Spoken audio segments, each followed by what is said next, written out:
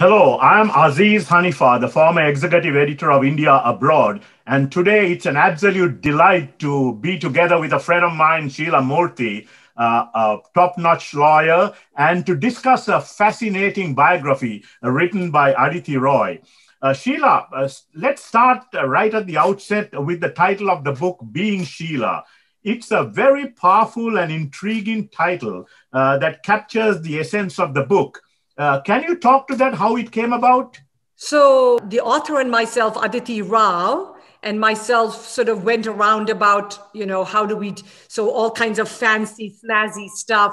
But in the end, she said, you know, the, sometimes the simplest is the most eloquent and the most beautiful. The less is more philosophy. And so she said, let's go with just being Sheela because it's all about you, your soul, your work, your life, your journey. And then she decided to add the byline, the title, because people may not know what being Sheela is about because they could be any other Sheilas. Though, of course, in in in, in America, the name Sheela with two E's is so uncommon because yes. the American is either EI or IE yeah. that, you know, I don't want to claim like I'm a, like Oprah, first name basis, the world knows Sheela. Yeah. But I think that was that was what they were trying to to get to the essence, the soul of the person, make it a one name, you know, the name itself. And then the byline would confirm if you already heard of Sheela or Sheela Murthy, yeah. murthy.com, that the life journey of an immigration lawyer would sort of jump out at you.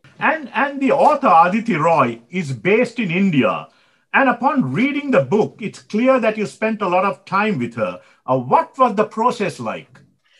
It was very intense. She is like all perfectionists, people who are after a mission, a goal to get to it. She literally hounded me, chased me, followed me every trip I made to India, she kept asking me questions, follow up questions. She would write a draft and then get seek clarification. She wanted to understand that she ensure that she understood nuances and complexities of US immigration law in the process. Uh, and pick up my personality. And then she asked to speak with my sisters, my mother, uh, she just wanted to talk to everybody and everybody connected and everything connected with me. Now, it was harder to get Vasant, as most of you know, Vasant is a very private person, my husband. Yeah. And so getting him to um, speak was harder. So she went and spoke to Vasant's sister, who knew him from the time he was a little boy, baby, because it's a sister who's 12 years older than Vasant. And because she found out and has a connection to that sister, she found out the story about the Nayaks and their background and their life, stories that even Vasant may not have known as a small child. Yeah. So, an education of Vasant also about who Sheela is all about. And, For sure. And For the sure. book contains dozens of anecdotes, uh, many heartbreaking stories too. And for many of your clients, you are like the last line of defense uh, between deportation and the continued stay in the US. It gives the readers an insight into the work you do on a daily basis and how much you fight on their fight on their behalf. Can you talk to that in terms of what drives you in that direction, in terms of being such an indefatigable advocate? So, like, like each of us have our own DNA that we're born with. I think mine from my childhood was always about fighting for the rights for others, fighting for justice, fighting against injustice, fighting for women's rights, for the rights of the downtrodden and the underprivileged. And so, I, and, and as many of you know from the story, that I often talk about how, you know, growing up back then in India, and I hear that it hasn't changed completely yet. 35, 40 years later, is that if you're not a doctor or an engineer, you're pretty much not considered brilliant in many Asian cultures, including in India. And so when I said I'm going to fight for justice and the rights for others, my father was like, That's fine, you can do it on the side, but how will you feed your family? How will you yeah. eat? How will you pay the bills? And my attitude always was, You know what? It's okay. I don't need a million dollars to eat food or to sleep on a nice bed at night. All I need is to help others. And that was my childhood, my burning passion, my mission. And so when someone says that the government has given a denial, which many times I think is either illegal, improper, unjust, uh, you know, that they are not really understanding the nuances of the case. Because if they understood that there is legal maneuvering angles available, that there is humanitarian angles, that there is personal connections, I think that everybody, I'm convinced that majority of people in this world are good people.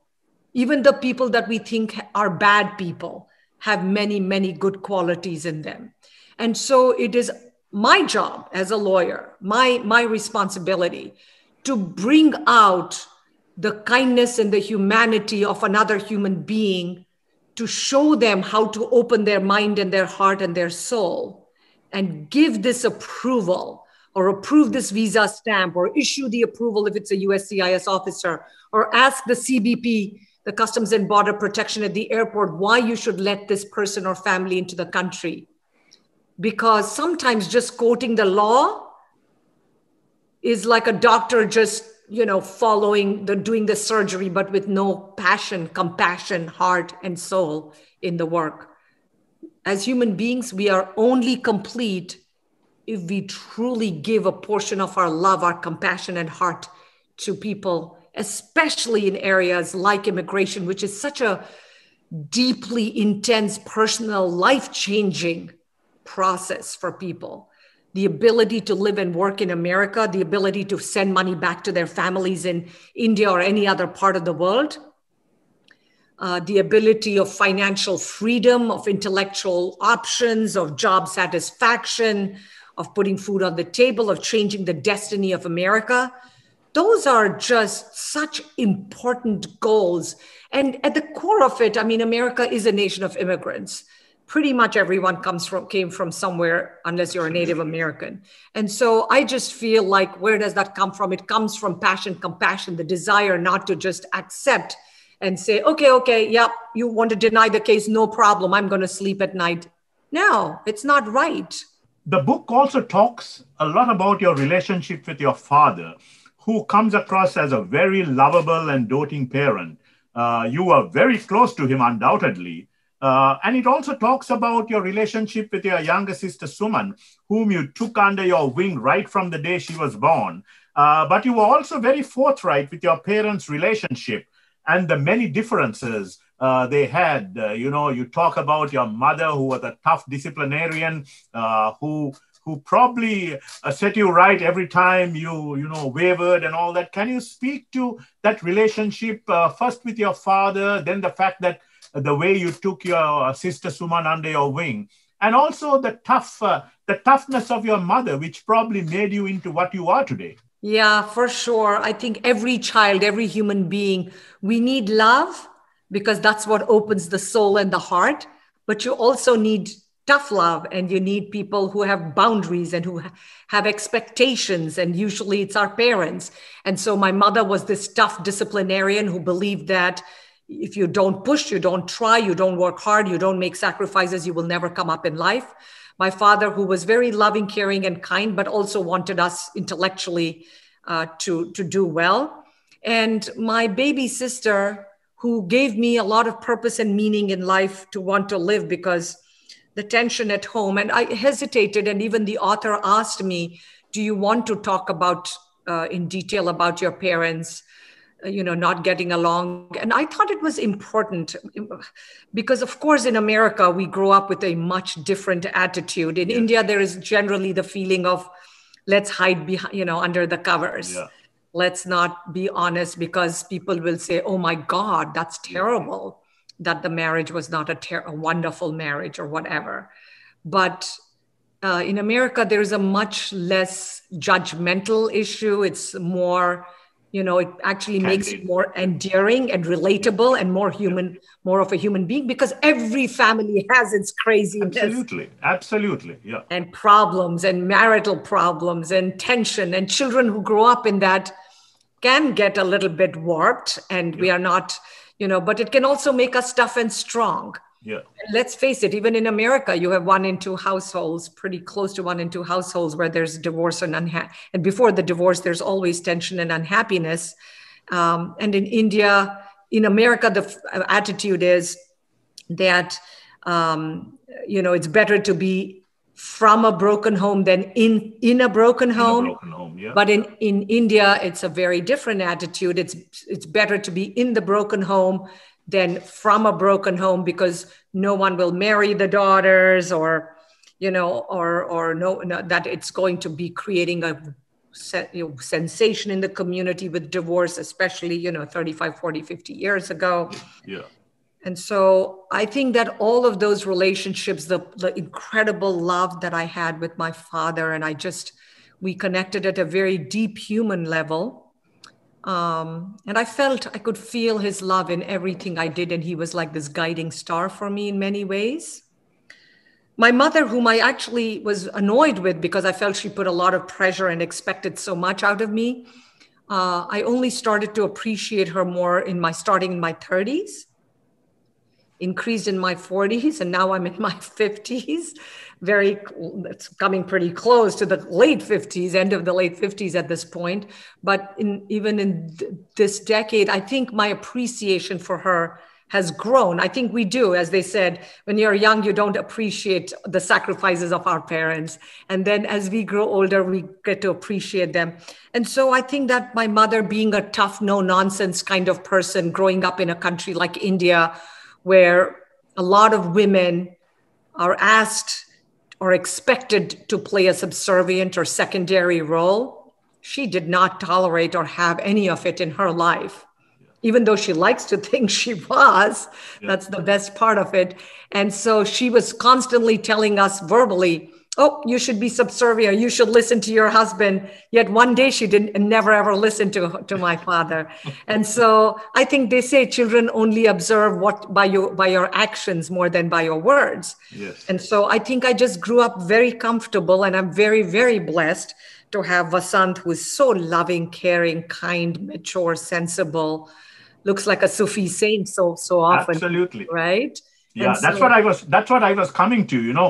Uh, i met vasant. He's low profile. He's unassuming. You know he likes to be behind the scenes. But he's been your rock uh, uh, you know uh, you talk about your relationship in the book and and how he has been such a rock in your life but in some ways you guys are just polar opposites. You know you're you're gregarious you're animated you're vivacious and vasant is you know they say let me be just let me be you know. Uh, talk to the talk to how he has been such a rock.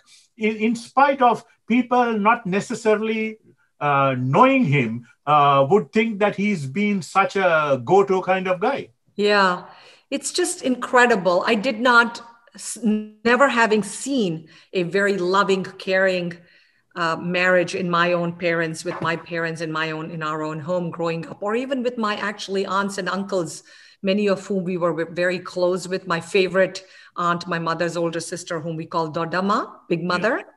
Yeah. Uh, their marriage was not, unfortunately, a good one either. Uh, you know, so I just didn't grow up seeing or hearing of good, solid, rock solid relationships of love and of equal partners. There was one aunt who had a good marriage, but again, her role was a little more subservient, in my opinion, or if not subservient, at least she played second fiddle, let him kind of, you know, rule the roost in some ways. And um, just, I think that I knew I deserved more. I think every human being in the world deserves love and happiness. Why not? Yeah. Why shouldn't every human being? And so I prayed a lot for the right relationship. God must have heard my prayer. Yeah. I knew that it takes a lot of give and take in life because, you know, we both have had to learn and embrace. I think Vasant obviously is far more the patient of the two of us I'm sure it was harder for him, but he said that I add energy and excitement and fun to his life. And he adds stability, sensibility. And when I make mistakes, he never yells like most people, like most normal people, I should say. You know, his, he'll more very softly and gently say, you know, are you proud of the way you're, the tone in which you're talking to me now? Or do you think I deserve it? Do you think I did? What do I? What did I do to deserve it, Sheela? Yeah. And then you feel so terrible. It's like, oh my god, so remorseful. it's almost like you know, what a jerk. I must be such a horrible human being. Yeah. To, so sometimes you get what are the famous saying, right? The famous words you can get more bees with honey than with vinegar. Yes. And so his kindness, his questioning, his gentleness.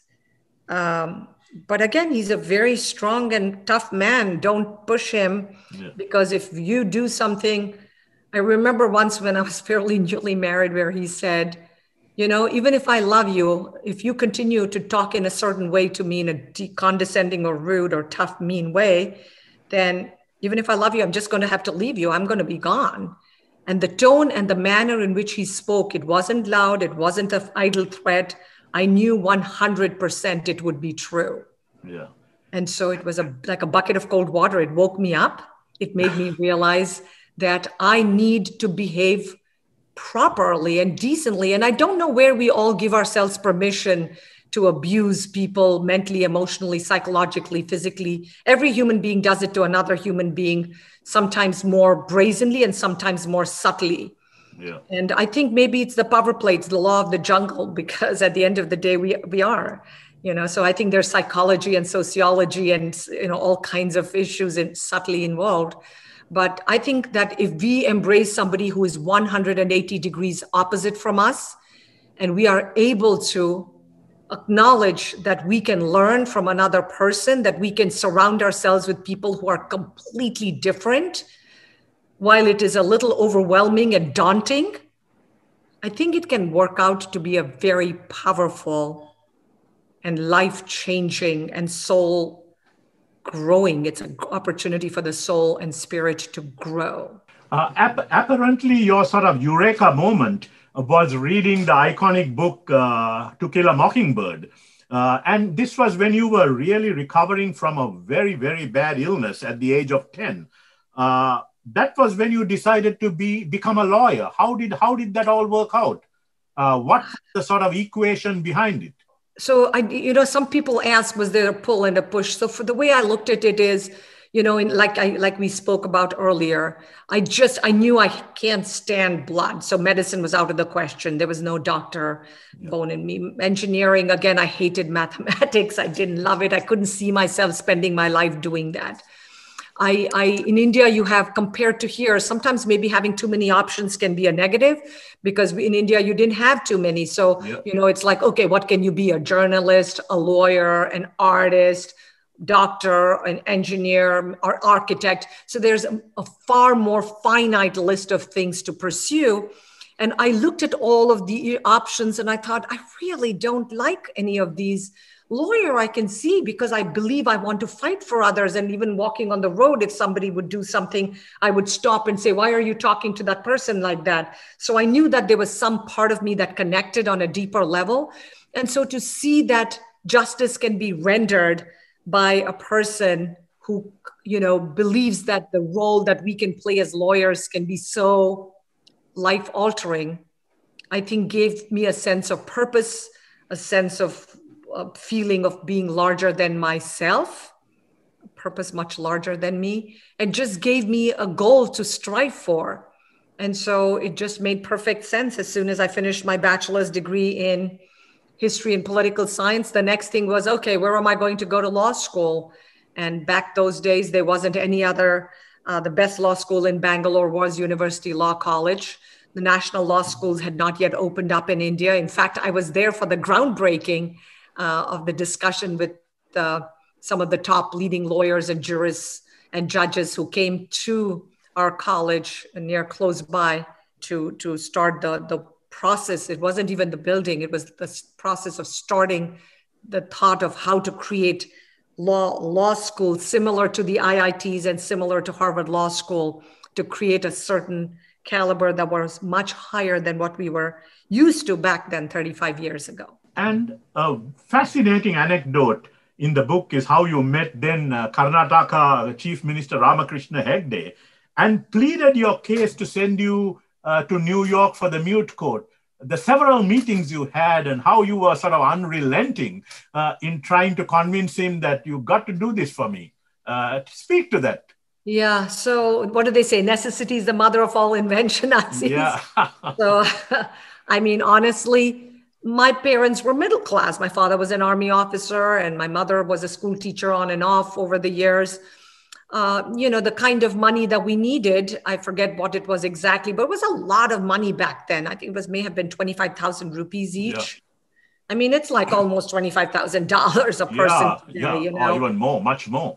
Yeah. So it was a lot of money and um, you know we had done so well. You know the the amount of money involved in having to buy two airline tickets to travel to from india to the united states to stay at the hotel to be able to participate in the moot court competitions yeah. the philip c. Jessup international moot court competitions uh, to represent india. First time karnataka had ever won uh, the, this very prestigious all india moot court competition. Yeah when when when it was mentioned that hey why don't you apply approach the government of karnataka for asking for funds? And uh, like a pit bull like a like one who's possessed. Once once the idea is planted in my mind i just cannot let go. I cannot i just go on like a mad person. Any other normal person would have given up. There were times they said forget it we don't have the funds we cannot do it. Go away yeah. And I would sit there and I would bring my books and study and read and wait for hours. Typical politicians, we would be waiting for them. His PA was very helpful, would be very kind and nice. I also used, I think, Donna Fernandes, Michael Fernandes to talk to them. It was like I everybody and any opportunity I could, I said, you know, why can't we get this funding? What, what it is only going to bring pride and glory to Karnataka. We are going to be very helpful. Otherwise, we cannot even participate in this. Um, you know, uh, my mother at one time said, I can lend you some money, you can borrow some from the bank. And I said, No, I cannot do yeah. that. I cannot start my life borrowing, borrowing, borrowing. And what if I can't give it back? I just don't like the idea of doing that. And so I just continued to wait and be patient and pursue it and just go, go, go, go, go dozens of times till I guess they finally caved in. I remember the night that or whatever that he called, he told me, he told uh, Michael Fernandes, uh, he, they called and said it has been approved. And I was like ecstatic because that meant now that I could just focus on the competition and excelling yeah. and not wasting hours waiting in corridors to have a uh, audience and to try to convince and speak with Chief Minister Ramakrishna Hegde. Uh, Aditi also does a great job in terms of revealing how you got involved uh, in each of your philanthropic ventures. Your support of the Girl Scouts, the Harvard Scholarship, education activities in India. Uh, it's it's quite fascinating. Uh, how did how did this sort of parallel universe of yours uh, evolve? I think a part of it again was my father's influence and uh, you know motivation that to whom much is given, much is expected. That if in life you are ever fortunate to make some money more than you can eat and sleep, keep a little bit for a rainy day. Don't don't sacrifice and give up on things that are important to you in your life. But at the end of the day, money is primarily meant to empower and uplift others, to give opportunities for others and if no one had done that for him, he would have been a poor boy. And if he was poor and lived that way, we all wouldn't have been, Harvard wouldn't even have forget Harvard moot court. Nothing would have been on the cards. Yeah. So it's interesting how he grew up poor. He made it a point that we needed to do more for the world and support other organizations and people. And so I look at the connection, you know, whether it was senior citizens of Bangalore doing the wonderful work that they do in India to feed and educate and provide nutritious meals to children. The Girl Scouts of Central Maryland, where they help the Beyond Bars program, where their parents, the mothers, were incarcerated, in, and to give these women an opportunity to, to meet network. The United Way, which supports so many multitudes of charities locally and even was expanding globally and internationally, and that I really, truly felt does so much in the community is very organized. They had the automatic paycheck you know deductions for contributions. So each of these different and the american immigration council of course the essay comp- the poetry writing contests for middle school america with the title why i am proud that america is a nation of immigrants. Or every single charity that vasant Nayak, my husband, and myself both contribute is something that pulls at the heartstrings for us, something that we can relate to, that we connect with. Vasant actually has started doing a lot more work now with respect to photography and photo education in India for poorer people and through different organizations. In fact, he's giving contributing to the Kobe Chobi Mela in uh, Bangladesh. Uh, because our goal ultimately is to educate, empower, enlighten, and inspire so that the way our my father's life changed for good his father also came from a poorish family. His father came out of the same cycle of poverty. And if they hadn't done what they did we wouldn't have been so fortunate. And so i think we have felt so blessed in our lives that we have always wanted to go and do something to touch another heart and as my father would often say, and I think all of us know, we're never going to take anything with us. Nothing, nothing, not one rupee or dollar will come, will follow us. The only thing that will follow us in our lives, if we are so lucky, is the good will and the good love and the good energy and the good things that we have sowed on this earth that will continue to bear fruit long after we are gone. Uh, Sheela, uh, besides being a brilliant immigration lawyer and a driving force and going to bat for the underdog, uh, and, and with officers both in the US and internationally, uh, you're also a sort of uh, indefatigable uh, immigration advocate. And the last four years during the Trump administration, has been an awful time uh, with all of the xenophobia and the anti immigrant fervor and the Stephen Millers of the world uh, who were just uh, absolutely uh, awful in terms of uh, what this country has been all about and that it's a country of immigrants. Uh, now, with Joe Biden coming in, and of course, we all being able to acknowledge the Indian American Vice President Kamala Devi Harris, and the fact that the Biden uh, President Biden has uh, declared that he's going to overturn some of the very uh, nauseating kind of anti-immigration legislation, etc., that was all put about in terms of refugees, in terms of even uh, merit-based H-1Bs and others uh, visas, etc. Uh, where do you where do you want the Biden administration to go in terms of you know bringing back immigration to what it is, what it really should be in terms of what this country, the United States of America, is all about? Um, it is. I mean, the last four years certainly have been challenging, to put it mildly. Yeah. Um, and we almost forgot that we are a nation of immigrants that our whole country, our ethos, our culture is all about the Statue of Liberty, bring me your poor, your tired, your huddled masses yearning to breathe free. Um, and it is really a breath of fresh air that we are going back to um, under jo- Joseph Biden and Kamala Harris, back to our fundamental roots. And by the way, this is not a political statement. Yeah. Again, for the record, I um, all I make it a point to mention this over and over again that I am a registered independent for over 20 years. And I have voted for equal, probably equal number of Republicans and Democrats. I look at the philosophy, the ideology, and a combination because, like many conservatives, I'm finan- fiscally and financially pretty conservative, but socially very liberal. Yeah. I know some people refer to that as the Tea Party Republican.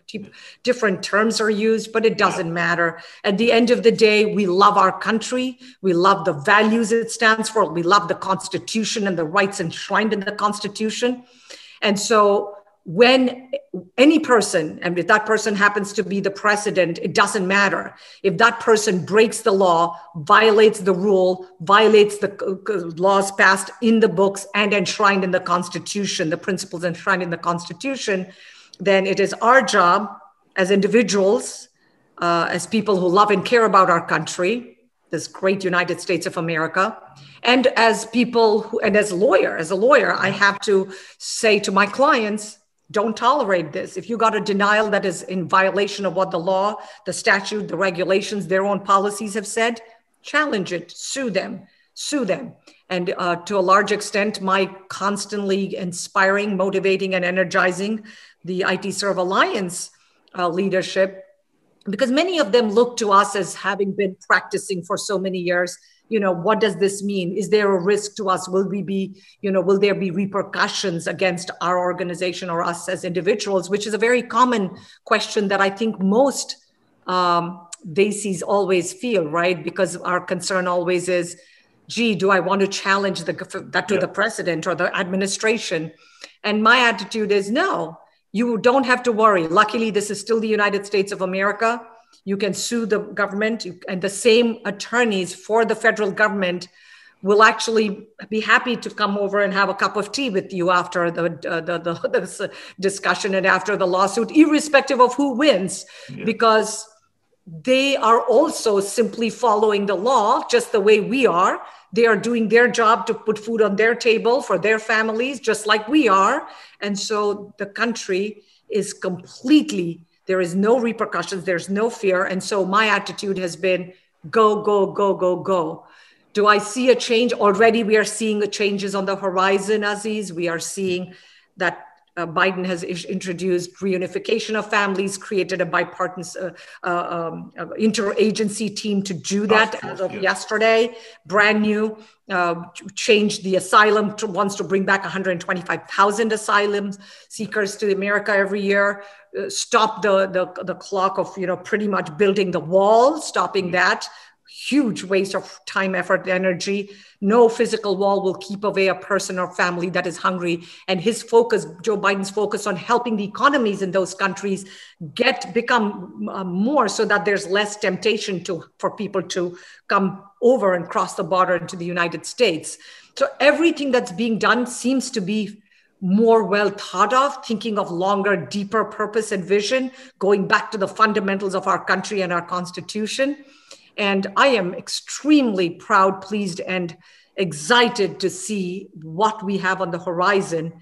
And I'm hoping that it will continue for four years. And if God willing, as they say, inshallah, for the next eight years, you know, for all of us to continue to see deep, meaningful change and going back to the fundamentals of our country under Joseph R. Biden and Kamala Devi Harris. And if we're so blessed, maybe, and if they do things right and they continue to lead it with believing in the values that they did, uh, I'm confident and convinced that people will vote for with our hearts, with our pocketbook, and with our lives. Because at the end of the day, as I said, even a person who you think is not a good person, even if it's a murderer, a rapist, they have good qualities. Every human being has very good qualities.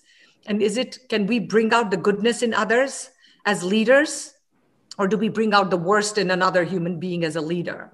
That to me will speak volumes because I think a lot of the children marching in the Black Lives Matter kind of movement in the past couple of years, after especially George Reynolds' murder, uh, a lot of those are the children of many of the people who voted for Trump. I mean, that is what is amazing because the children are saying, I can't sleep at night. Our country has to have values.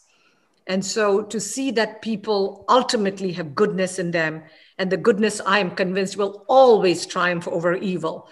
In the short term, somebody may win, and you may think life is so unfair, but I am convinced in the end that goodness, kindness, following the law, following the principles enshrined in our constitution, doing right by majority of the people. Now, we, one thing we know as leaders is you can never make every single person happy every single time. Yes. And that's fine. We can't, but you have to be fair and just, honest, and know that you are doing right in your mind, heart, soul, and body, and that you are being true to what you believe in fundamentally as a human being, to do right by your fellow human beings.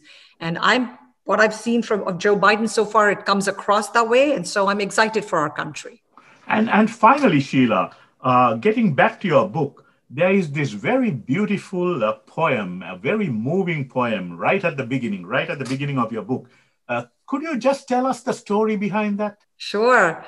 So actually, this the winner of that poem, Kate Jens, uh, is a young middle school kid. I met her, of course, in Orlando. Uh, and she's just smart and bright and really sweet. She, by the way, ordered a copy of the book, both for herself, one copy, and her mother ordered a separate copy. Um, and they uh, very talented, bright young girl uh, that wants to change the world. That shared the story about her grandmother, who's from Italy, that came here, um, and just she sat down and apparently wrote it over a couple of sessions. Uh, she won the uh, essay competition uh, in her state in her middle school in her state and then in the country she was number one the winner of the american immigration council's uh, creative essay writing contest on why I am proud that America is a nation of immigrants. So the book opens with one winner and it ends at the end and closes with another winner. And so we have this beautiful story of how she asks her grandmother to tell her about her immigration journey and coming to America and how it changed their lives. And that that kid is in fact still in touch with me, and I just got a, a you know New Year Christmas card and greetings from them. Um, and I, I'm really excited and hopeful that this bright young girl will do something incredible and amazing with her life. If we continue as older people and hopefully wiser to inspire and motivate and continue to make a difference in the lives of others then life is one big happy full circle. It's the circle of life. Yeah. and that's my hope is for her to continue to shine. It's a beautiful poem both in the beginning and in the end and I think that these are young, talented children who relate to their families, their ancestors, who embrace the notion of America as a nation of immigrants.